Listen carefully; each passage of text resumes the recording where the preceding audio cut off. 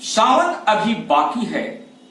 आरा नगर निगम की बात भी बाकी है। लेकिन इंद्र भगवान सावन के पहले ही शायद प्रसन्न इतने हो गए कि दो दिनों से आरा शहर समेत पूरे भोजपुर में झमाझम बारिश से लोग काफ़ी ही, जो उमस भरी गर्मी से थोड़ी सी राहत ली है। लेकिन आरा नगर निगम की कई मोहल्ले में जल जमाव होने से लोग काफ़ी ही परेशान हैं और सोचने पर मजबूर हैं कि स्वच्छ आरा, सुंदर आरा का नारा देने वाला आरा नगर निगम क्या कर रहा है, क्योंकि बरसात अभी बाकी है और आरा नगर निगम की बात भी बाकी है।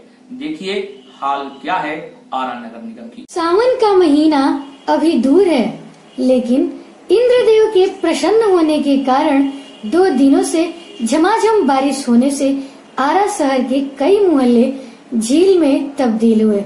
शुक्रवार को दोपहर मूसलधार बारिश से, जहाँ आम जनता उमस भरी गर्मी से राहत की सांस ली, वहीं दूसरी तरफ़ स्वच्छ आरा, सुंदर आरा का नारा देने वाला नगर निगम के कई वार्डो में जल जमाव होने से नगरवासी काफ़ी परेशान रहे।